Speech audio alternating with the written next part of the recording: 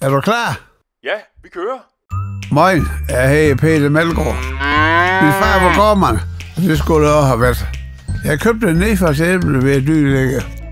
Jeg købte for en krone, og solgte den ved døren, og fik 18 kroner per kasse. Øh, det er fra jeg fundet ud. Jeg skal være handelsmand.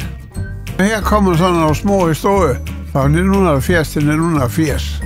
Jeg begyndte min afstilling uge med en handemak, og det var 1. maj 1970.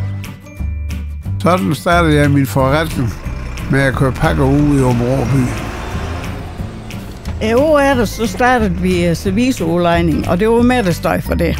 Jeg lå en 100 tallerkener ved Thysen fra Folkehjem.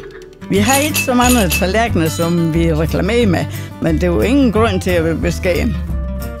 Bådforretningen voksede jo stort, og i 1984 begyndte så at køre dagrenation i Områ Kommune.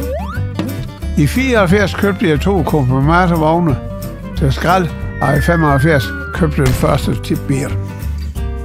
Men den lastbil, den lavede nok til en af de bedste handler i firmaets historie.